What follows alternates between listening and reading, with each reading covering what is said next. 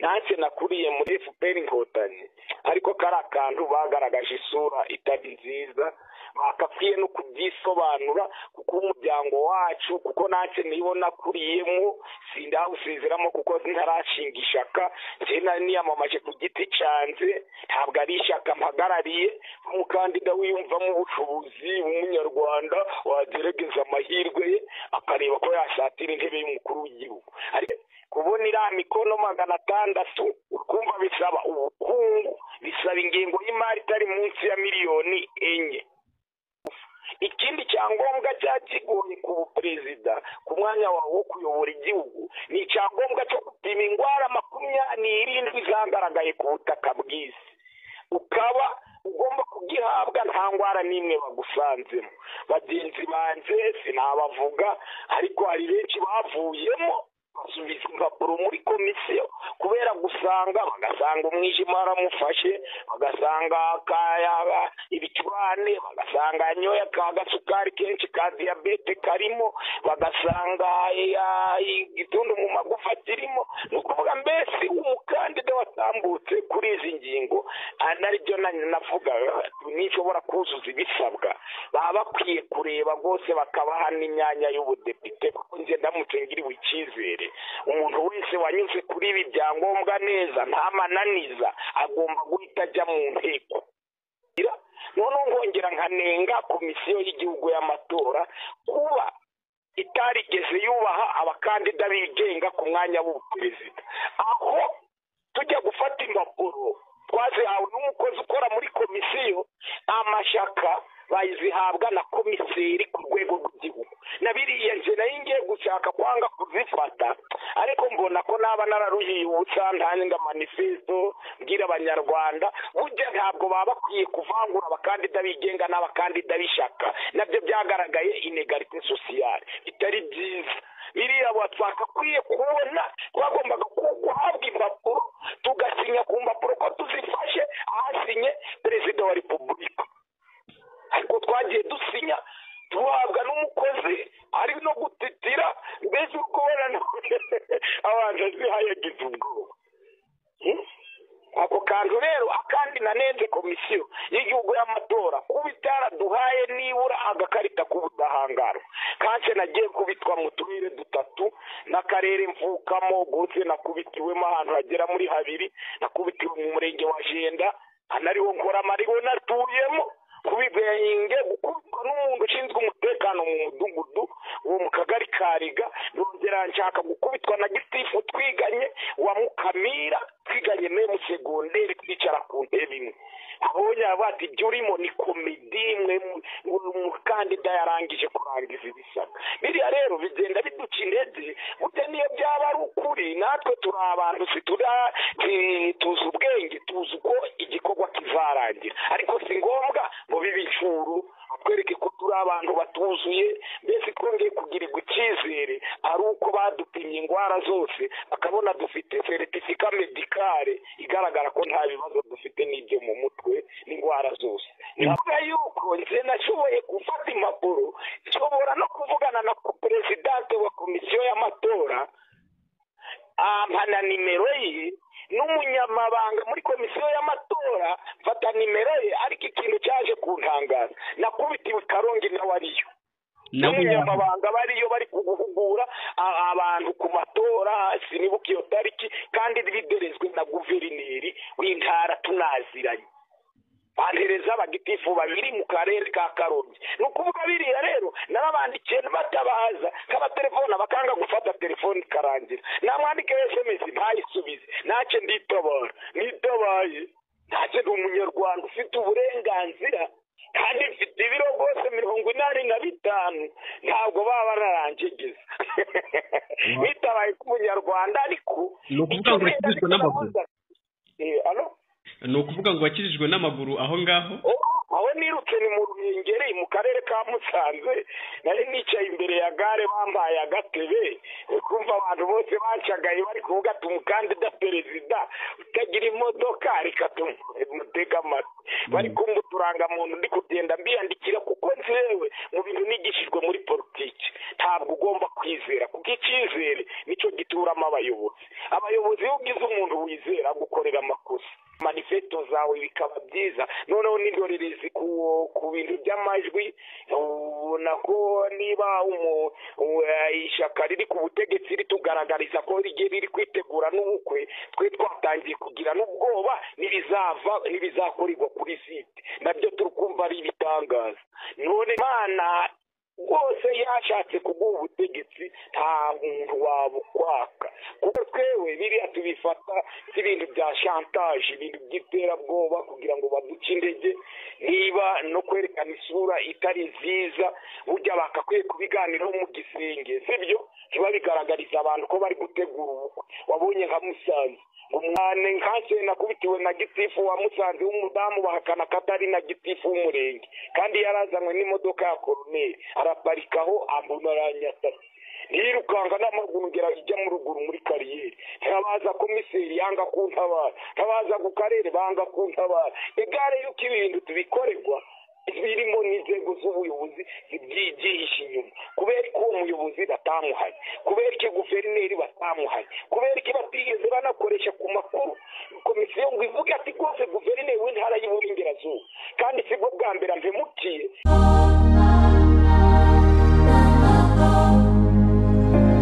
muvandimwe mwiriwe neza inosa twiriwe neza turashima imana n'akavura kari kuboneka mu burengerazuba ni ibisanzwe n'umwihariko w'akarere ka nyabihu. Rwose bimeze neza. Ya nguhamagaye nshaka kumenya uyu munsi imyiteguro yawe mu gushaka imikono yigeze he? Murakoze kumbaza igitekerezo cyiza rwose nahumuriza abanyarwanda yuko rwose umukandida w'umwarimu rwose ushaka gutanga kandidatire ku mwanya wo kuyobora igihugu maze kunyura mu turere makumyabiri na dutandatu nsigaje uturere tune tw'iburasirazuba nsigaje kirehe kirehe nsigajemo abantu icyenda ngasigaza nyagatare ngasigazamo nyagatare ndi kuburamo abantu bane gatsibo nkaburamo abantu batandatu na ngoma nkaburamo abantu batandatu. Kumva rero iyo mikono niyo nitwo turere nsigaje mu gihugu nabwo iyo biza kugenda neza tugahembwa muri segiteri y'ubwaremu ndumva rwose nari ndagikemura n'umunsi wo kujya gushaka icyangombwa gisigaye kigaragaza ko mfite undi w'umunyarwanda w'inkomoko utarigeze ubwenegihugu bw'amahanga. Harya gitangwa na minafete? Gitangwa na minafete urujya kuko ni bwo uyu mwaka kizatangwa mu matora y'uyu mwaka. Ndumva minisitiri ushinzwe abinjira n'abasohoka yaramaze kubitegura kuko bamuhaye urutonde rw'abakandida bashoboye gutambuka ku bizamini by'ubuzima. Kuko ni ho bemeye abantu bashobora kuzahatana byanze bikunze. Ni ukuvuga ngo ugeze nko kuri mirongo itandatu na mirongo icyenda na gatanu ku ijana? Ndumva mirongo icyenda na gatanu y'imyiteguro ariho ngeze kuko nahoze uyu munsi nteguza abantu b'ikamonyi icumi bazaba bambaye kositimu b'abadamu n'abagore na gasabo na nyarugenge na kicukiro kugira bazamperekeze tugenda tuganira tugera kuri komisiyo ntanga kandidatire. Nabiteganyaga kuwa kane.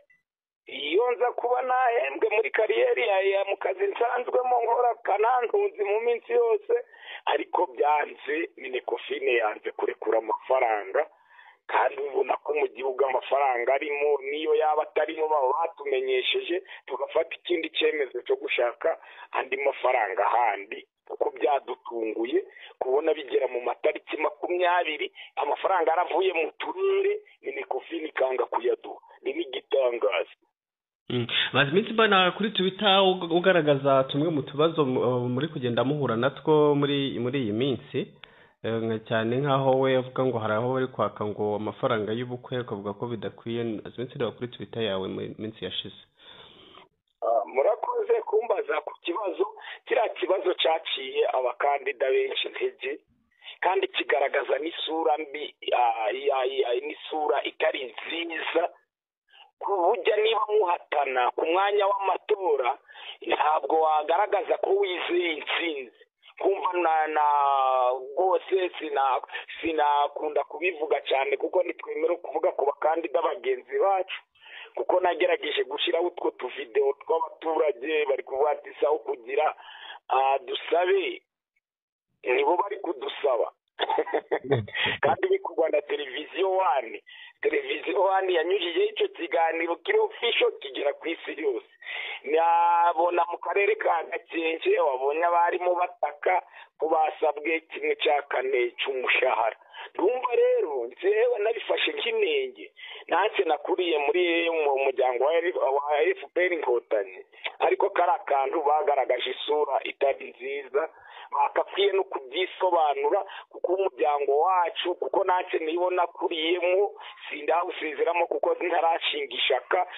Niyamamaje ku giti cyanjye ntabwo ari ishyaka mpagarariye.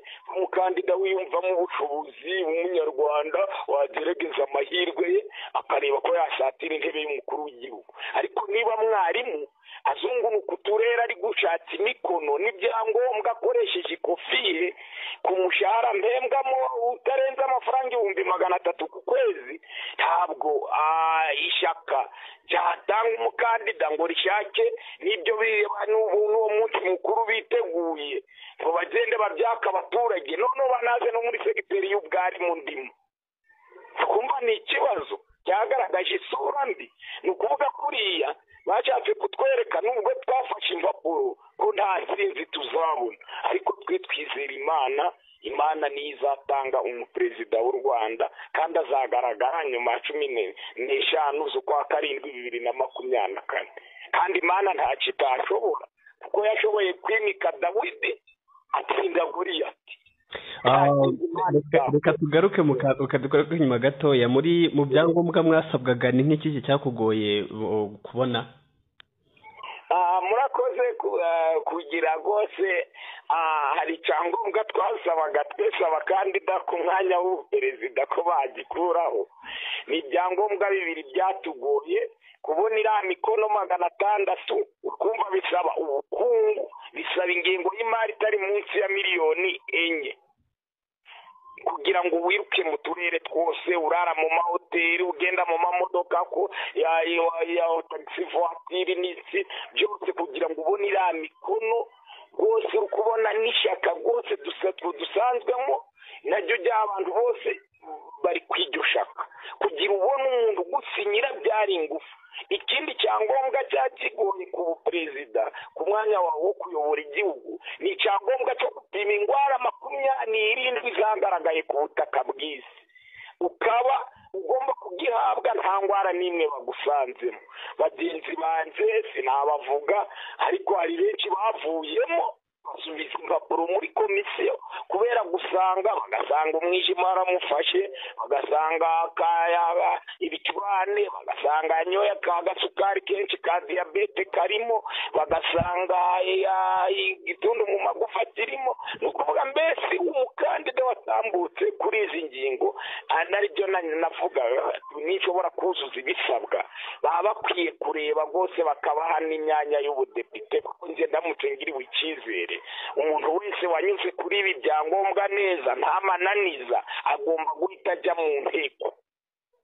Nkurikije ko abanyarwanda kubona abanyarwanda bakumva magana atandatu mu turere ukagenda ubonamo makumyabiri makumyabiri. Uba uri umuhanga kandi uba ufite manifesito nziza ibereye abanyarwanda. Kuko ni byo twabwiraga abantu ba manifesito bakemera kutugira noneho ngongera nkanenga komisiyo y'igihugu y'amatora kuba itarigeze yubaha abakandida bigenga ku mwanya w'ubuperezida. Aho tujya gufata impapuro twazihawe n'umukozi ukora muri komisiyo amashyaka bazihabwa na komiseri ku rwego rw'igihugu. Na biriya nje na yo ngiye gushaka kwanga kuzifata ariko mbona ko naba nararuhiye ubusa ntanga manifesto mbwira abanyarwanda burya ntabwo baba bakwiye kuvangura abakandida bigenga n'abakandida b'ishyaka. Nabyo byagaragaye inegarite sosiyale bitari byiza. Biriya twagakwiye kubona twagombaga guhabwa impapuro tugasinya ku mpapuro ko tuzifashe ahasinye perezida wa repubulika. Ariko twagiye dusinya duhabwa n'umukozi ari no gutitira mbese uri kubona abanza zihayagize ubwoba.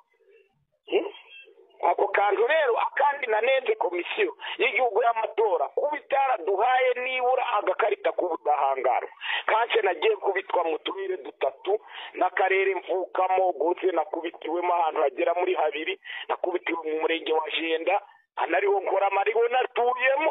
Kubigenge gukubitwa n'umuntu ushinzwe umutekano mu mudugudu uwo mu kagari kariga nongera nshaka gukubitwa na gitifu twiganye wa mukamira twiganye memu segonderi twicara ku ntebe imwe abonye bati ibyo urimo ni komedi mwe umukandida yarangije kurangiza ibisabwa biriya rero bigenda biduca intege burya niyo byaba ari ukuri natwe turi abantu tuzi ubwenge tuzi uko igikorwa kizarangira ariko si ngombwa ngo bibe inshuru twereke ko turi abantu batuzuye mbese twongeye kugirirwa icyizere ari uko badupimye indwara zose bakabona dufite seritifika medikare igaragara ko nta bibazo dufite n'ibyo mu mutwe n'indwara zose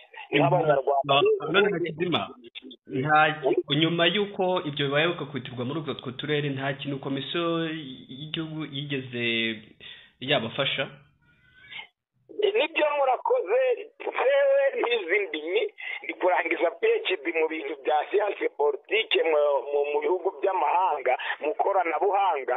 Ni ukuvuga yuko nze nashoboye gufata impapuro nshobora no kuvugana na perezidante wa komisiyo y'amatora ampana nimero ye n'umunyamabanga muri komisiyo y'amatora mfata nimero ye ariko ikintu cyaje kuntangaza nakubitiwe karongi nawe ariyo n'umunyamabanga bariyo bari guhugura abantu ku matora sinibuka iyo tariki kandi biderezwe na guverineri w'intara tunaziranye.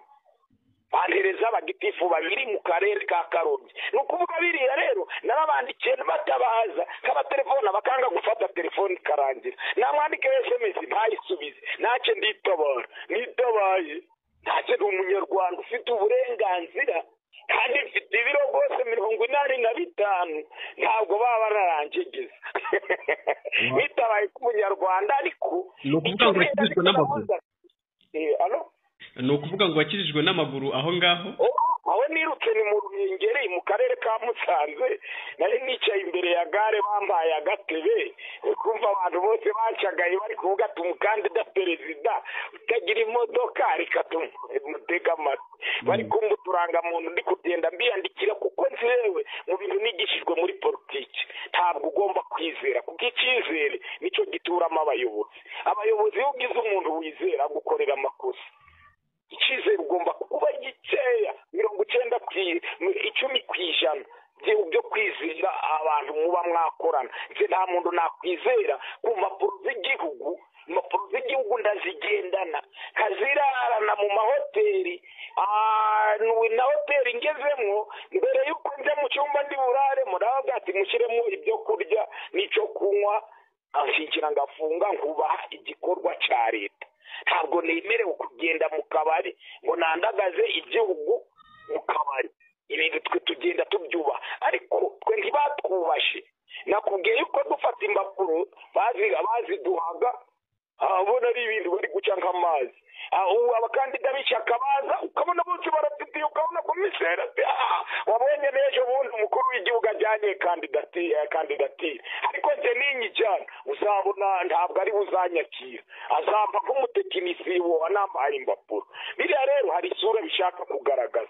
Ni ukuvuga yuko ibyo turi kwirukankamo niyo mpamvu uri kumva bamwe muri bagenzi banjye bari kugenda bananirwa mu nzira bakazisubizayo ni ukureba ati kapitali twashoyemo. Ntayo nje natangajwe no kubona umukozi wa komisiyo mu karere ka nyabihu. Ajya ku kigo umwana wanjye yigaho muri boarding school. Araba ati ngo muno ngo harimo abana ngo bafite base ngo bari kwiga ngo bari gusarira ngo bazayobora igihugu. Kumva iyo mvugo ntari nziza. Ngo bari kwizera ngo bazakizwa ubukene ngo n'amafaranga basanga ngo bazakura mu mango mu matora ngo basohotse ku rutonde. Rwose birambabaza umwana telefona mama we turi kumwe ngo ngo ko bari kuvuga ngo papa ngo ari gushakamo amafaranga ngo kandi ntazayabona ngo ibyarimo ngo ni ibintu by'ubusazi. Ibyo bintu ntabwo ari ibikorwa byiza. Burya niba uhangana n'umuntu kandi wizeyeho ingufu sinzi impamvu wagira ubwoba. Mutari mwahura twundi turemererwa kandidatire zacu ntituruzuza n'ibisabwa ngo tubigezeyo. None ubwoba bwavuye he bwo gutinya mwarimu dr. Inosa hakizimana ukumutinya mbere atari yagera ku kibuga. Kandi nzi ko nzagikiniraho ndi munsi abandi bari hejuru. Tuzaretse imana nze niyo mbanza kuvuga. None hakizima reka du- dusoza reka tugaruke kuri iki ngiki. Imikono bagusinyira neza nta kibazo? Nyine ni byo nakubwiye. Imikono ubanza gucekinga ko atigeze ubanza kumugirana nawe igitekerezo. Ukamubwira manifesto zawe. Kuko rero manifesto yanjye ni ugukora ibyo nta gashya nzaza. Ni ndi umukandida w'impinduka mu byo bamaze gukorwa neza. Kongera kubihindura neza no guha amahirwe urubyiruko no gukura abakorerabushake bose bagakorera igihembo no kwandika imirimo yose mu gihugu. Rero iyo mbibwiye abantu abanyonzi kubaha perime provisoire z'ubu eh, bakoze ku mategeko y'umuhanda bagatsindira kuri atanu kuri makumyabiri barangiza bakabona. Perime provisoire bagatanga ubwishingizi wa- yagwa yakora impanuka ibyo yangirije nawe yagonga umuryango ugahabwa agafaranga. Neza no kugabanya iriya inshuwarensi y'abamotari. Wabonye byo nabonye ko igihugu cyakuye iriya miliyoni y'umuntu wanyongaga afite perime bakamukatira akagwa mu gifungo. Ku buryo atabona kirimino akavutswa amahirwe yo kuba ari umunyarwanda udafite umuzima iriya nashimye u rwanda ko rwabikora wabonye ko abarimu abadepite hari umudepite w'umumama rwose wahoze ari umwarimu waserukiye abarimu ab- abasabira yuko bagomba gutangira mu kwa cyenda bahemberwa ibisansi muri garidiyene no muri pirimeri na masitazi biriya twabishimye rwose nubwo yajyanye manifesto yanjye nta kibazo ariko umukuru aba akuruta kuko ni umudepite rwose usanzwe mu ishyaka rya fpr inkotanyi hariya anatangiye kudohoka kumva ko bazavubita hasi kuko ibintu nari nzakora ndi kubona bari kubishyira mu bikorwa kibaza noneho izindi aho nzazikura ariko ubu nubwo nawe wagiye ukubitirwa bamwe mu turere hari na bamwe mu bantu babasinyira ba- baterwa ubwoba nyuma? Nyine byo birakorwa byakozwe mu karere ka nyabihu kuko nakuye imikono magana biri mirongo itanu n'ibiri kubera ariko karere mvukamo nzwimo mu murenge wa mukamira mu murenge wa jenda mu murenge wa bigogwe n'umurenge wa kabatwa.